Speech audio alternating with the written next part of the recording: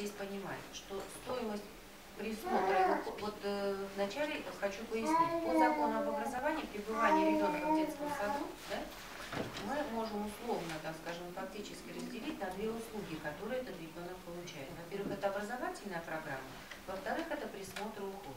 Все, что касается образовательной программы, это бесплатно. Мы рассчитываем стоимость вот этой услуги по присмотру и уходу.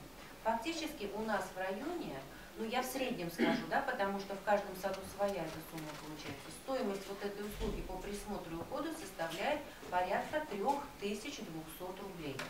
Вот в общем пребывание вашего ребенка в среднем детском саду э, стоит столько.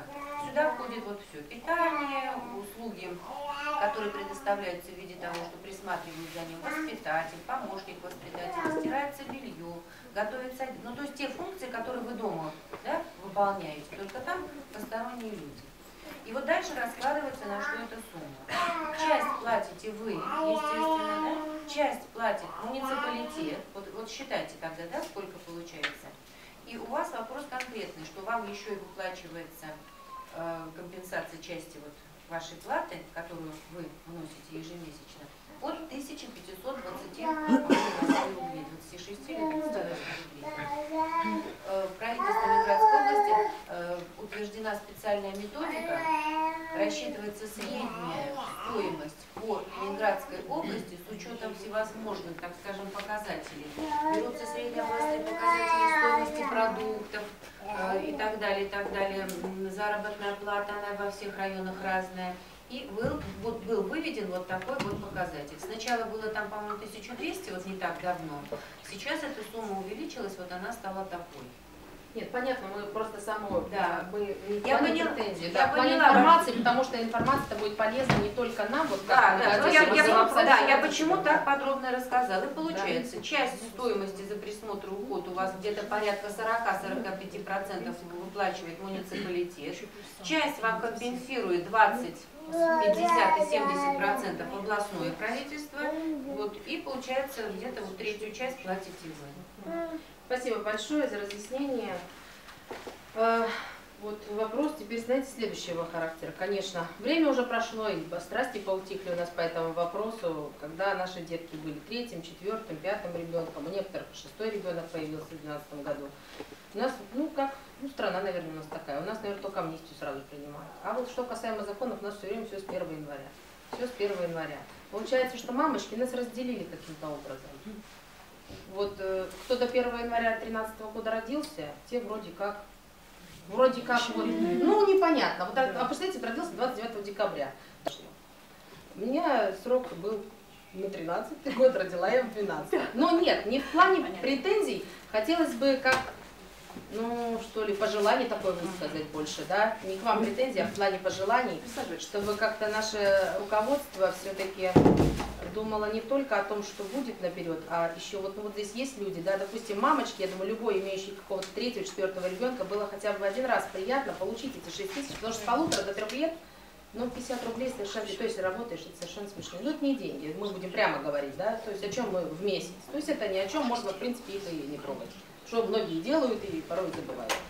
Вот, хотелось бы, конечно, чтобы если меры какие-то соцподдержки принимались, они приняли закон этот вот по 6 тысячам 4 октября 2012 года. Почему он сразу не мог, допустим, вступить в силу? Вот, ну, понимаю, я, да, бюджет, может быть, там не заложен, конец года, но все равно какие-то планирование бюджета было. Ну, то есть, понимаете мою мысль, да? Нет, нет, вопрос на самом деле совершенно быть, понятен. понятен, Любовь Петровна, все, в принципе, понятно, но тут я могу, наверное, только действительно именно, вот, ну, Как пожелание, да, да, ну, да. Ваша, ваша точка зрения и ваше предложение. Я просто думаю, что многие ее поддержат, согласитесь, даже, что эта мера пришла, чтобы они начинали действовать. Вы знаете что? Но э, любой закон имеет какую-то дату вступления в силу. Иногда это бывает выгодно населению. Иногда, вот как в вашем случае, Да. так сказать, ну вот так случилось неудачно, что вы не попали под действие этого закона. Вы знаете, вот подобные законы, э, подобные вопросы задают мне практически на каждой встрече, причем это касается не только вот конкретно этой даты, это касается, Да, например, размера величины прожиточного минимума. Почему, если у меня на 5 рублей больше, я не имею права, Да, да? да, да. Ну, потому что закон вот так действует, он по-другому действовать не может. С другой стороны, э, согласитесь, э, тот, кто э, родил вот действительно на 29 или 30. Э, при- Хорошо, мы включили 29 и 30. А 28 а и 20 так далее. У этого нет предела, поэтому Я понимаю, нет, закон да, действует именно так, по-другому он не сможет действовать. Хорошо, теперь, наверное, очень следующий вопрос. Я готовилась, честно скажу. В свете моих личных... Я села, собралась и решила, что все-таки надо вот как-то уж, если мы, слава богу, так быстро среагировали, за что, конечно, спасибо, за этот э, круглый стол, будем так говорить, лекарства. Лекарства до 6 лет. Это наше вот просто возмущение. Кто? хоть- Вот нет, я вот один раз, я помогла, Никогда получила, я точно скажу, витамины мне один раз дали. И витамин D маленькой вот доченьке. А, ну тогда да. Вот что, и какие-то вот какие-то. Понимаете, я, я понимаю, у нас регион северный. У нас детки в основном простуды, астмы, насморки, гриппы. На юге это может быть другая какая-то ротация. Мы не будем брать регион. Но в зависимости от региона есть у нас пе- педиатры. Они лечат, они смотрят, что берется. Знаете, порой стоит дилемма. А, а дилемма всегда в сторону ребенка. В аптеку пойти и эти деньги не тысячу, а порой и не две отнести, но ты знаешь, что ты можешь помочь, потому что это твой ребенок. И ты, конечно, там себе ущемишь, но тем не менее, ну в чем там, конечно, не, я не говорю о какой-то роскоши, но тем не менее мы идем и берем, и знаете, в аптеках уже иногда, знаете, нас уже знают. Знаю, у меня ребенок маленький, я Да, тем более вы в курсе. Вот объясните, откуда этот список берется, что в него входит. Вообще, как, почему вообще, когда мы в принципе приходим на прием, первое, что не делают врачи, они не спрашивают, может быть, на карточке написать, многодетная семья, еще как-то. Понимаете, чтобы они сами говорили, у нас есть вот такие препараты, мы можем вам предоставить. Не все такие, как я, не все скажут. Кто-то промолчит, кто-то, знаете, не сможет спросить, стыдно. Потому что у нас, ну, вот не знаю, как-то многодетные, вроде как стыдно. Мы не просим того, что лично. Ну вот иногда такое ощущение складывается, поверьте. Мы вами гордимся. Да, я очень рад. Спасибо вам, огромное, Светлана Ивановна. Дайте, чтобы это и дальше продолжалось. Просто, ну, у нас много в России народу, ну, помогать надо, куда деваться. Мы стараемся, растим деток достойно. Вот, поэтому вот хотелось бы вот такое тоже и пожелание, ну, естественно, вопрос. Вы мне очень нравитесь. Вопрос вас, ваш, э, нас тоже будоражит, по крайней мере, меня, потому что я отвечала на многие жалобы по этому вопросу. И работаю очень давно, и очень много лет никаких не было проблем. До трех лет, до шести многодетные, это очень наш, все препараты. Более того, даже вата, даже спирт, это я сама выписывала, работая на участке. У нас говорят, вот список, тут нету, извините. Да, еще и поругаются, из кабинета выгонят. Я понимаю ваше возмущение, наше возмущение тоже. Теперь возмущение в отношении врачей я принимаю полностью, потому что мы уже несколько раз собирались, они у нас не все любят дорабатывать, так скажем. Правильно вы говорите, они должны с вами сидеть и разговаривать, и показать список обязательно. Откуда берутся эти списки? Уже много лет они берутся. Значит, их существует два списка. Один федерального значения на жизненно важные медикаменты и один областной список. Сюда входят и заболевания. Областной немножечко дает пошире, так скажем. И э, там есть перечень препаратов. К сожалению, он направлен больше в какой-то степени на взрослых. Там очень мало что можно применить детям, хотя мы стараемся туда включить. Вот в связи с этим у меня просьба. Буквально вчера мы разговаривали с нашим человеком, Галиной Ивановной Гусаровой, которая отвечает за лекарственное обеспечение, что попросить вас тоже обращаться с желаемыми препаратами. То есть у некоторых заболевания серьезные. Не сразу мы формируем этот список вот сейчас. А уже когда он будет принят, областной я имею в виду, федеральный как бы от нас не зависит. Это правительство России. Вот. А областной список, он в какой-то степени зависит от нас. Поэтому, и не зная о ребенке, допустим, участковый врач, потом мы включаем. Но это такая мука и для родителей, и для медицинских работников. Поэтому я вот прошу вас отнестись к этому серьезно. Вот такая вот Значит, ситуация. заявление. А на эти списки дается определенная сумма. Я согласна. Во-первых, опять же, а понимаете, на что делаем? Давайте мы про заявление. На ответственность. чье имя заявление? На главного врача Не надо писать? заявление, это А обращаются либо к заведующей детской поликлиникой, либо участковому врачу. В первом это не Родители, заявление. родители. Вы имеете в виду о препаратах? Конечно. То есть выписка Ну, вот родитель, а как должен заявить о том, что ему необходимо? Нет, смотрите, вот, вот я почему говорю, подождите, мы опять начинаем вот уходить от того, к чему я клоню. Вы меня услышите, пожалуйста, сейчас. Есть педаг- ой, педагоги, врачи, которые знают, участковые педиатры, они работают с нами. Есть дети часто болеющие. Есть, они в принципе профильно, сейчас вот начинается осень, сейчас начнется анафероны, гриппероны, э, э, э, ну, все они, причем это же поддержка иммунитета, это же сад, один пришел группа. Это помимо этих, Согласна, Я да. вас услышала как раз. Они не могут этот список Могут, составлять врачи? могут. Мы им Вот что, можем прийти на участок и сказать, включить. вот эти, пожалуйста, препараты включите? Да, могут. Или они... Нет, а это вот надо или какой-то анализ провести, карты свои, что ли, или каким образом это? Нет, я немножко не имею в виду о тех диагнозах, которые поставили не в нашей больнице. У нас есть такие дети, с которыми действительно мучи- мучились родители. э, Не в нашей больнице, чтобы вовремя приносить выписку и показывать участковому врачу. Вовремя. Мы э, единственный месяц в этом году, наверное, не болели, наверное, июль. Нам даже прививки не сделать. И мы их, в принципе, пока не делаем, потому что я понимаю, что иммунитета и так нет, и если я сейчас еще туда буду это все бабахать, это будет просто катастрофа. Поэтому, конечно, э, например, я уж утрированно сказала, что глиферон, анаферон, это все поддерживающее. Естественно, есть просто препараты, которые лечат, такие как биродуал, например, да, это препарат, который снимает одышку. Он стоит порядка 300 рублей. Лазолваны, э, включен, насколько я помню. Вот, По крайней мере, в этом году мы его точно, но он включен. Я биродуал вообще Это по бронхиальной астме идет. Он Ну, я согласна. Это вот не астматики, это вот сейчас очень часто распространено через отгоряющий вариант. Ну, вы как, наверное, врач, я так полагаю, скорее всего, да, по общему профилю. Вы, наверное. Поддерживаю, поддерживаю Да. замечательно. Я здесь Заместитель главного врача. у меня, простите, я немножко Да, не в том состоянии, что какие-то, может быть, моменты не слышу. А, Вот, хорошо. То есть А наше дело какое? Мы должны прийти к своим педиатрам, Да. и сказать, то есть дома примерный список, просмотрев карточку часто выписываемых лекарств, не просто из головы, да, написать, какие бы мы препараты хотели бы. Ну, Раз уж деньги выделяются, чтобы это допустим, вот не было нагрузкой. Красиво. То, что хотели, может быть, с этим и не надо приходить, потому что каждый Ну, педиатр подает желаемый список. У нас так. А я имею в виду те заболевания, которые, опять повторяю, что они не у нас поставленные диагнозы.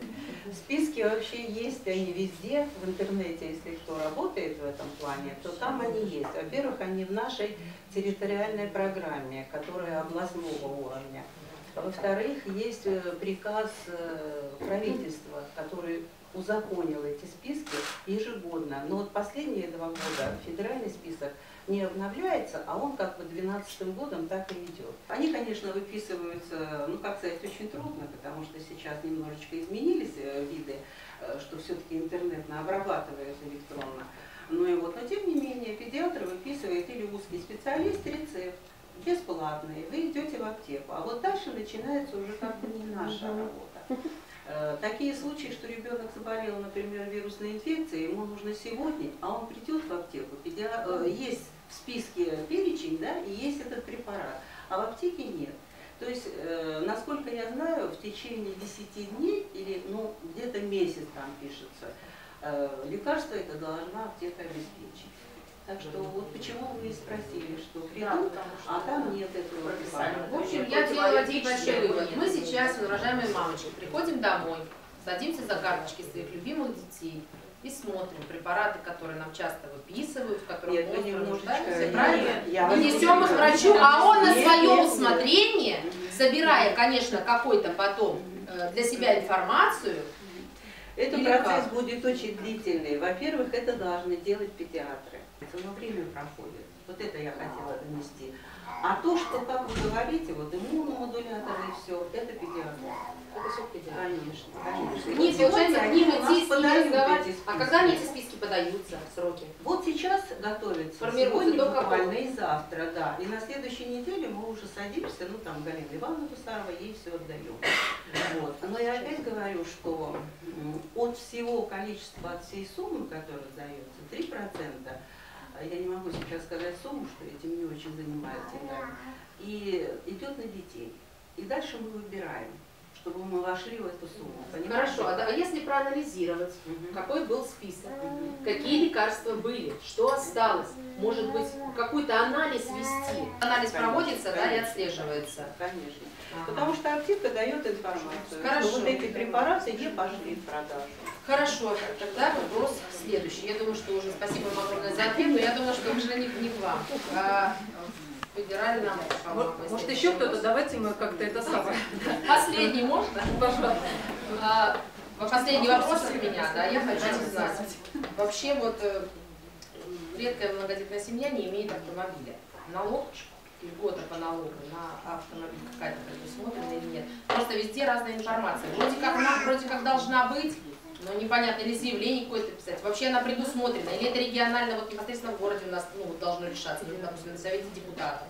Или это с области должен прийти приказ какой-то, и вы, как исполнители, должны его передать, допустим, налоговую инспекцию там, для исполнения. Вот есть что-то подобное или нет? Обещаю следующее, что э, не было ни разу такого вопроса, вот именно по льготе по транспортному налогу. Насколько я могу вспомнить, транспортный налог это региональный налог, соответственно, льгота, скорее всего, становится областным законом.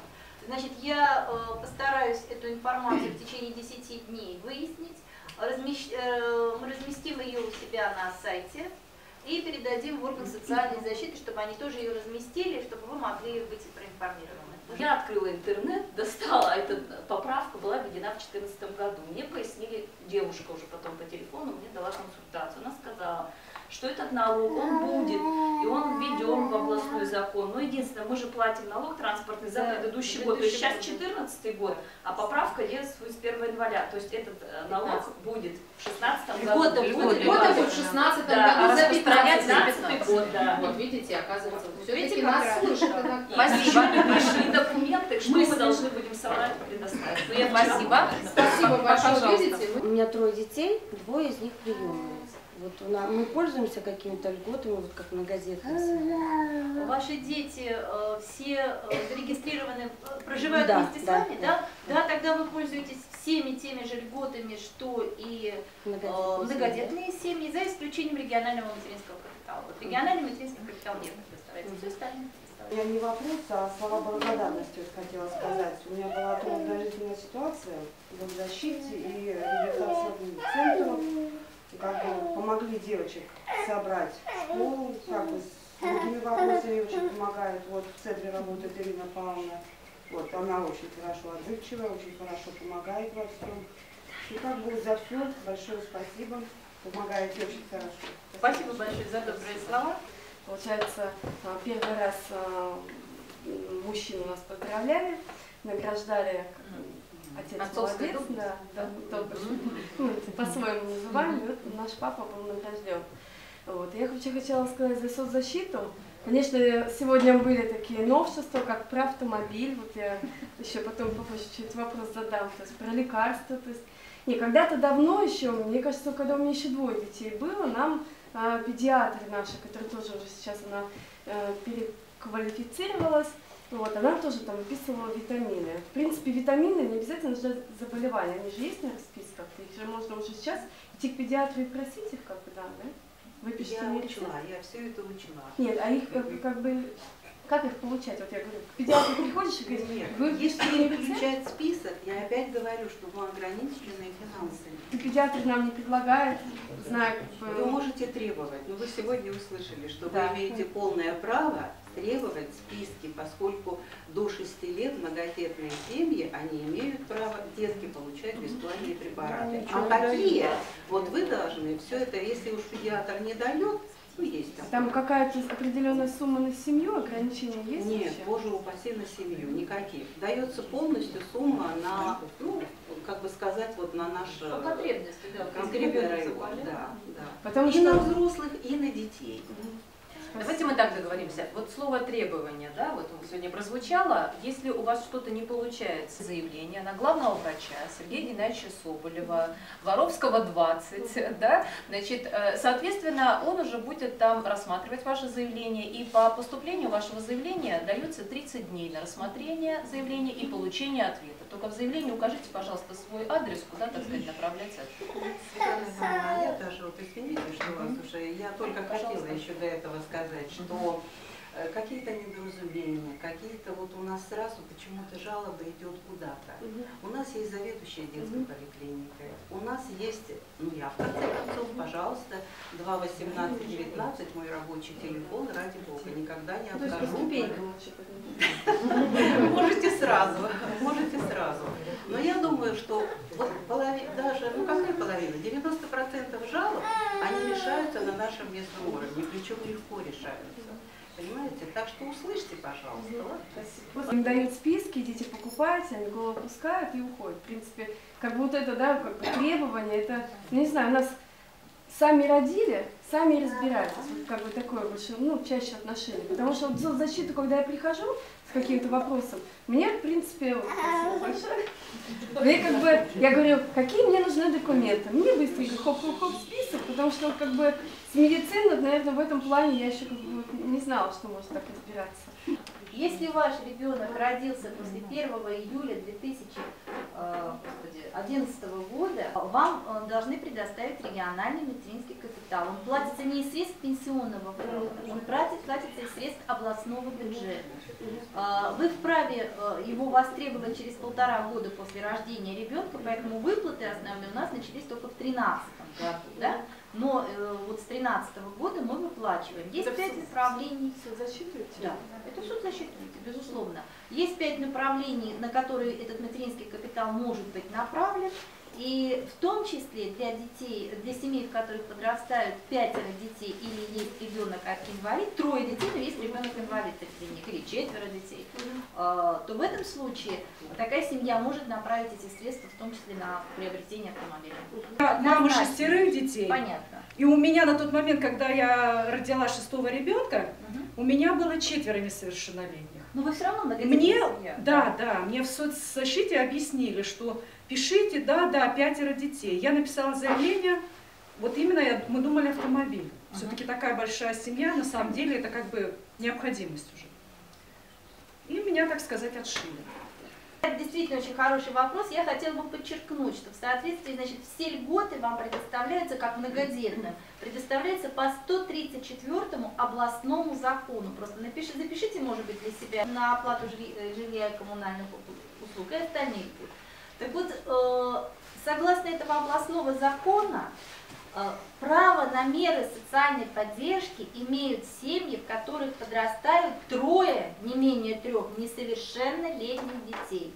В тот момент, когда э, у вас один из деток достигает совершеннолетия, право на меры социальной поддержки вы утрачиваете. А если он Спросить, учится? а почему? А если учится У нас ребенок? студент, он Да, учится, он сидит, грубо говоря, еще На шее, на конечно. объеме, и он Еще живет больше, чем дальше, чем Вот мне сейчас надо 12 тысяч заплатить за общежитие. БСК сколько? Почти тысячу стоит. Питание в институте 250 рублей обед. Плюс еще ему надо утром позавтракать, вечером поужинать. Ему 20 лет, еще двое маленьких. Мы в школе питались вот еще до этого бесплатно, как многодетные, мы не сдавали никаких справок. Если предоставляешь справку о том, что ребенок учится на очной форме у тебя, то есть, допустим, тот же институт очно, не заочно, то как бы у них продлеваются вот те льготы, которые семья получает, вот те же выплаты вот до трех лет. Я, например, не успею, да, у меня ребенку исполнится 18 лет, и у меня два года будет маленького, то есть я буду учить, как вот девушка, А и, потом- и все льготы, и все выплаты снимутся, и до полутора лет, то есть я уже, получается, семья попадает в нищету прямо Почему сразу и резко, понимаете? фонду считается до 24 лет. Уважаемые участники встречи, еще раз говорю, таково законодательство. Я специально дала вам ссылку на 134 областной закон, потому что э, мне иногда А приходится сталкиваться Поправки какие-то. Пожалуйста, можно, пожалуйста, вы можете выходить на своих депутатов, предлагать им эти поправки. Я могу сказать, что сейчас у нас э, на- начата, мы приступили к работе, но единственное, что должна сразу предупредить, что это самое начало работы. Да? Мы приступили к работе над социальным кодексом, э, который э, предполагает э, унификацию выплат, подход по нуждаемости, повышение социальной защищенности тех, кто в этом нуждается. Вполне возможно, что в этом законе будут э, учтены какие-то из предложений. Это вполне возможно. Это У нас будет есть- региональный, да? Регионально, да. Я говорю о региональном законодательстве, только о региональном, потому что социальную поддержку, как многодетный, вы получаете согласно региональному законодательству, не федеральному, а именно реги- региональному.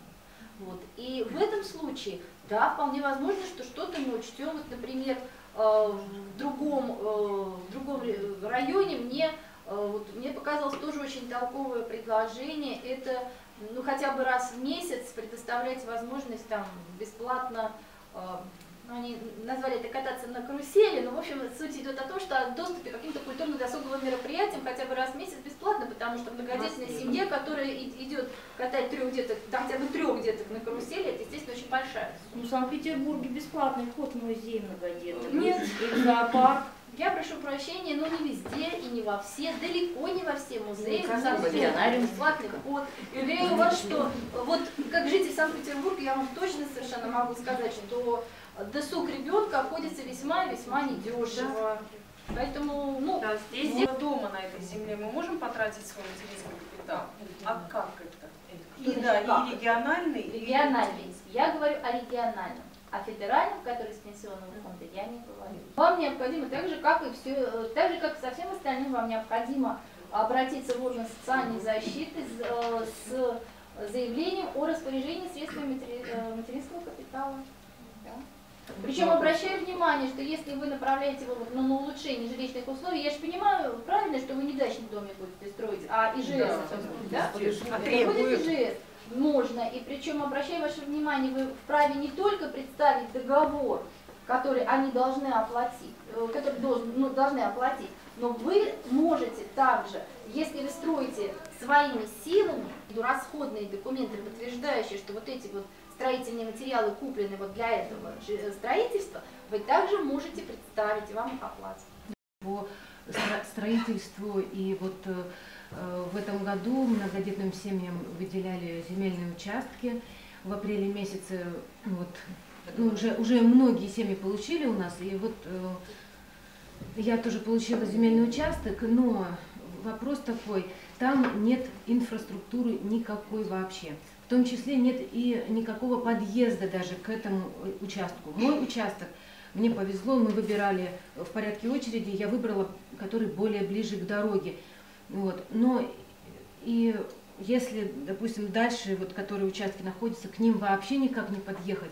Вот, и, Срок аренды идет. Да, срок аренды идет. срок аренды да, в течение Не пяти лет.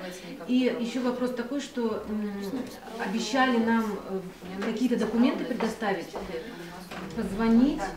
Вот. И в земельный комитет, в силу того, моей занятости, я сейчас никак, мне тоже не попасть туда. А мы вот земельный комитет привели сюда. Вот, Да. как, как- как нам, да, сейчас вы поговорите. когда, когда будут документы и вообще, когда нас оповестят. Мы движемся, все узнаем друг о дружке. Вы знаете такой вопрос? Мы получили землю, как кота в мешке. Ткни пальчиком, получил. Выехать на тот момент, мы, например, получали 29 января, на, это, на эту территорию просто нереально невозможно, что на самом деле там есть. Извините, по сугробам ходить нереально. Люди получили местами в болоте. То есть, да, для того, чтобы это все сделать, у нас, вы знаете тоже, что почему это делается потом? Почему нельзя на самом деле сделать сначала дороги, свет, все остальное, чтобы мы могли пройти, посмотреть, где мы будем получать. Люди, когда покупают участки, я думаю, они посмотрят раз 10, со всех сторон, как и что. У нас этого времени не было. Пришли, либо выбираешь, либо пошел отсюда. Можно ответить? Мгм. Спасибо за вопрос. А, К сожалению, да. Дело в том, что а, в городе все меньше и меньше неосвоенных территорий, и те территории свободные, которые мы находим для предоставления а, гражданам в соответствии с федеральным областным законом, они действительно представляют собой неосвоенные массивы. Но я вот, э, может быть, не, не громко сказала, не, перед этим я вот отвечала девушке на вопрос, я сказала, что а, разработка проектной документации на строительство инженерной инфраструктуры, непосредственно строительство инженерной инфраструктуры, сожалению, это очень э, финансово затратные работы. И проекты стоят э, очень больших денег, и само строительство. И поэтому, можно это, я вам сейчас просто постараюсь объяснить, правительство Ленинградской области разработало э, порядок согла- подписания соглашения с органом местного самоуправления именно на софинансирование, на участие э, софинансирования э, в строительстве инженерной инфраструктуры. Но для того, чтобы в эту программу вступить, чтобы правительство помогло органам местного самоуправления а, построить э, сети, дороги, да, свет, водоотведения, есть ряд условий в соответствии с этим соглашением, без которых мы не можем вступить в эту программу, а именно наличие разработанной проектной документации. И только работают с теми, вот, э, с теми массивами, по которым гражданам земельные участки уже предоставлены. А предоставление начинается с того момента, когда гражданин заключит договор аренды и зарегистрирует в регистрационной палате. То есть просто так сначала построить дороги, ну вот, к сожалению, Ну, не получается. нас зажимают просто в рамки тоже. Вы поймите, мы, например, то есть, да, для того, чтобы там что-то строиться, у нас срок есть, да, 5 лет. И то за 5 лет мы должны хотя бы, как нам объяснили, построить, поставить фундамент. Это к вам не относится. Нам объяснили Нам так а мы объяснили, откуда это да. все узнаем? Нет. Мы вот так вот по чуть-чуть, где-то выужим, кто-то узнал. Мы даже не знаем, куда с этим вопросом обратиться. который Да. Да дело в том, что ты Мы просто постоянно- элементарно, нас интересуют тупо сроки. Вот смотрите, дали нам 29 Да. января выделили участок, и срок 5 лет пошел с этого времени. Почему не включить? Либо в договор, либо, может, доп. соглашение, что с момента, то есть срок исчисления аренды как таковой, мы его сейчас не арендуем, мы платим даже за него, мы даже налог заплатили. А делать мы там ничего не делаем. Какой налог? Не, не налог, а Аренда. аренда. Аре- аре- не налог, аренда земли. Мы заплатили, Можно спросить, вы уже договор о аренде Все сделано. У нас уже разрешение на строительство аренда, есть, и на электричество мы подали. Но как по факту мы ничего там не делаем. Это документы, мы по городу бумажки делаем. Может быть, стоит вот вы как выход, либо доп. соглашение заключить с людьми. До тех пор, вот как нам дали, вот когда, помните, мы получали участки, мы все подписывали документ, что администрация есть намерение сделать, нас, ну, говорили Да, там, да, да, да, и да, нас да, ставили, скажем так, известность, и мы в курсе этого. Но, опять же, опять как-то игра в одни ворота. Давайте тогда и вы нам каким-то образом выходите навстречу и прописывайте либо в договоре, либо в доп. соглашении, что срок исчисления вот этих пяти лет с момента того, как мы можем туда прийти, начать что-то делать. Вы нас-то тоже поймите. Понимаете? Или Вот, вот, а да, а мы ничего не можем происходит, сделать. да. Мы не против, мы готовы, но мы не можем. И Немножко вы не можете. У вас да. надо, надо, чтобы наша аренда была, тогда вы будете двигаться. Конечно. Так вот, может как-то урегулировать тех, кто есть. Доп. соглашением этот срок отрегулировать, прям прописать, что срок аренды. Вот сделали проект, сделали мелиорацию дороги, хотя бы элементарно. Мы не говорим про газ, там, про что-то. Это понятно, что оно само собой будет присоединяться. Элементарно, чтобы можно было подъехать и было сухо, чтобы можно было начать делать. Вот сдали, и мы с этого срока, скажем так, вот 5 лет, потому что мы в любом случае, вы поймите, мы тоже будем защищать свои права. Сроки будут двигаться, мы пойдем в суды, потому что у нас не было возможности. Не и даже, может быть, и вы-то не виноваты, но в том, в том, как закон, да, таким образом сложен. Но мы будем вынуждены отвоевывать свои 2-3 года на проектную документацию, на строительство. 3 года – это очень большой срок для многодетной семьи. Посчитайте, даже если 5 тысяч в месяц отложить, 60 тысяч в год, это 180 тысяч за 3 года можно в пределах накопить, это будет уже какой-то не только фундамент. Даже по 5, вот в принципе. Вот, вот какой-то вот компромисс надо найти в этом. Вот нас этот момент интересует вот сильнее и достаточно вот мы готовы как-то вот насыпем дорогу. А, Тишина. По поводу дороги. Я уж не стала, я понимаю, уточнять там какие-то моменты, вот, ну, скажем так, в той истории, которая там была. я бы понимала, что будет какая-то более, скажем так, встреча с более людьми, более знакомыми с данной ситуацией, поэтому, конечно, вот Хотелось бы вот в этой, вот в этом разделе. 60 миллионов не освоено. Что мешает это А делать вот сейчас? мы об этом и говорим. Зима, это первоначальная разработка проектной То есть документации. на временные коммуникации мы не можем там у них денег просить. На временные? Да. Ну, А- подъезд, ну, техническую дорогу хотя бы сделать. Нет, понимаете, для того, чтобы сделать техническую дорогу, ее тоже нужно разработать своего рода проект. Просто так вот, катком не Подожди, проедешь. а участки разработаны. Такие случаи, что когда уже э, едут смотреть представители э, комитета по ЖКХ и строительству, да, выясняется, что быстрые соседи, которые узнали, что вдруг там кому- кого-то рядом сейчас кому-то будет предоставляться участок, вплоть до того, что выезжают с заборами, что-то начинают себе там догораживать и перегораживать, и мы ну, вынуждены уже в процессе этой работы решать и эти попутные вопросы, ну еще ряд там всяких технических сложностей. Где-то выявляется, выясняется, что проложена коммуникация, которая в принципе по ней документов нигде нет, ну какая-то, например, даже элементарно какой-то газ или как- какой-то кабель полз. Мы даже не понимаем, откуда он взялся, потому что ни в Федеральной службе кадастра, Росреестра данных по этим кабелям нет, а он вот лежит. И прежде чем начинать, например, прокладку дороги, надо решить вопрос э, с переносом или э, со собственниками по данному кабелю.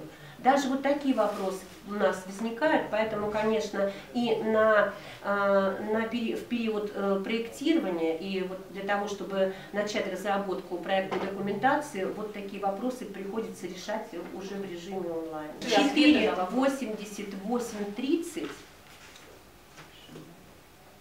4, 88, 30 и 4, 88, 31. Потому что зачастую нет времени так, чтобы свободно прибежать, да? а Земельный телефону комитет, да, 48830 это мой телефон непосредственный, э, Хамова Марина Евгеньевна, а 48831 там специалист Егорова Оксана Валерьевна. Пожалуйста. Еще такой вопрос ответный, да, мы не миллионеры, понятно. Обратившись в несколько банков, мы получаем отказ для того, чтобы построить жилье. То есть либо это бешеные 30%, которые мы должны иметь на руках, нету такой суммы, естественно, нереально. Либо ограничивают вас, вот аренда уже идет, мы можем дать вам кредит до окончания этого срока аренды, который указан на 5 лет, а не 10 лет с последующим. Да? Они расчет, естественно, тоже это нереальный кредит, его не взять. Вот если какие-то суды, какие-то помощь, куда вы могли обратиться, либо это то есть мы готовы взять кредит, но не такие бешеные проценты, не такие вот э, заемы сразу вот. Есть такая программа или нет? прием молодых семей, но я подозреваю, что под эти Мы не цели... не под- Нет, не потому что вы не молодая семья, даже не поэтому, а просто потому что условия там будут совершенно другие. Там, скорее всего, речь идет о многоквартирных домах, там не идет об ИЖС. Вот Поэтому дело. нет, таких программ на сегодняшний день, к сожалению, не существует. Кстати, в Ленинградской области занимается реализацией данной программы, называется она «Обеспечение качественным жильем граждан на территории Ленинградской области», Комитет по строительству при правительстве Ленинградской области. Вот они в как- в какой, так сказать, в каких направлениях работают. Значит, в первую очередь, э, это семьи, планирующие улучшить жилищные условия с использованием социальных выплат на строительство индивидуального жилого дома или на участие в долевом строительстве многоквартирного дома. Во вторую часть планирующие э, направить социальную выплату на погашение основного долга и уплату процентов за, э, за пользование ипотечным жилищным кредитом, займом. Третью часть граждане, планирующие улучшить жилищные условия с использованием социальной выплаты на приобретение готового жилого помещения. Значит, вот с этой программой э, в администрации есть специалисты в комитете ЖКХ, которые непосредственно работают и ведут прием граждан по этой программе. бабушки там а, одна шестнадцатая доля. Вот. И у меня как бы метраж, он там буквально вот чуть-чуточку, у меня хрущевка, совсем маленькая квартира, комнаты, прям одна комната, 2 на 2 квадрат, ну, квадратных метра, я говорю, просто это реальные вещи. И у меня там не хватило буквально там двух или каких-то трех метров, и я уже не попадаю. в- Сразу хочу сказать, что это программа для тех, кто является в статусе нуждающихся, понимаете? Я А чтобы получается, быть зарегистрированными в статусе нуждаемости, да, значит, это нужно э, определенные критерии. Получается, вот родив третьего, просто я помню, когда у нас было двое детей, я подходила в клуб, и мне сказали, что э, можно выбирать. Вот тебе, тебе предлагают сертификат на деньги и землю, и ты можешь выбрать, либо ты берешь деньги на квартиру, либо землю. А вот если рождается третий, эти условия как-то меняются? Ну что тоже я выбираю или все-таки как многодетный полагаю? Как многодетно вы имеете э, первоочередное и э, там без всяких условий право на получение земельного И участка. землю сертификату на деньги мы также приобретаем квартиру, как бы все как положено. А относительно вот предыдущего вопроса, вы знаете что? Это касается не только уча- земли и каких-то вопросов. Вообще, на самом деле, знаете, вот мы когда отвечаем на вопросы, мы очерчиваем некие общие ситуации, общие рамки, общие законы. Но у каждой семьи абсолютно своя, абсолютно эксклюзивная ситуация. Документы, идти к специалисту, вот как сказала Светлана Ивановна, и с ним уже обсуждать конкретно ситуацию вашу. Что вам могут предложить, исходя из, из тех документов, исходя так сказать, из тех условий, которые есть конкретно у вас. Вот это вот, это не касается, вот, это касается всех ситуаций, в принципе. Точно так же с правом на меры соцподдержки. Берите документы, пожалуйста, идите в орган соцзащиты. Потому что в общем случае мы говорим, что ну вот на какие-то конкретные вопросы, общие вопросы ответ нет. Но вот в вашем случае, например, может быть, вы имеете право, но для этого необходимо изучить ваши документы достаточно внимательно, да, провести, провести экспертизу на право. Поэтому вот просто общий такой совет, вот всегда со своими документами все взяли, пришли к специалисту, он обязательно подскажет и все объяснит. Ну, и я скажу номер телефона свой, если у вас какие-то будут вопросы, и вы не знаете, кому пойти, я готова э, с вами пообщаться, по крайней мере, э, рассказать, куда нужно обратиться. 48804. Когда ваши дети ездят бесплатно, да? И вот теперь, я так понимаю, с земельными участками, да, это связано. Всех- Везде, везде. Школа, питание. Поехал куда-то выходные, справки, раз и справки Я нет. я- Нет, Нет, на сегодняшний день никаких. потому что для многодетных там бесплатно с удостоверением. Да. А у нас нету этих удостоверений. Ну, Это как предложение. Да, Да, это, наверное, да. действительно Разработать документ, который бы, скажем так, из я думаю, что он снимет определенную нагрузку Раньше было с социальной такое. вот э, Я помню, непосредственно вот со службы соцзащиты, потому что мы тоже звоним, эти справки, бывает, что э, Лидия Григорьевна, так, правильно, Лидия Лидия Григорьевна. Да, Лидия Григорьевна не всегда есть на месте, и приходится порой ждать, чтобы подписать эту Хорошо. справочку. скажем Понятно, так. Предложение, в принципе, взять. мы услышали, Да. но обещать пока ничего не обещаю, но Понятно. предложение услышали, мы рассмотрим.